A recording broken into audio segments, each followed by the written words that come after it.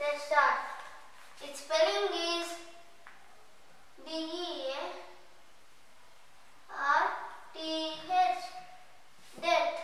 Its meaning is scarcity. Scarcity.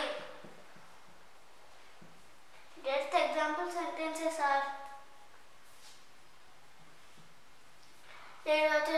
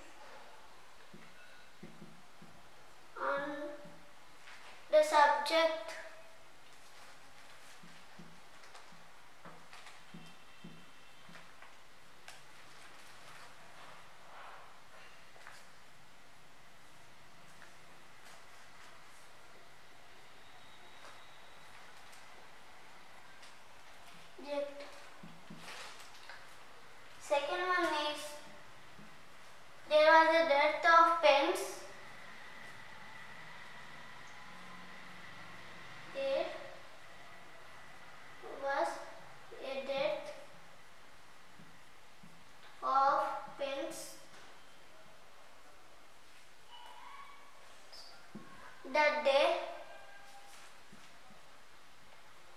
in class.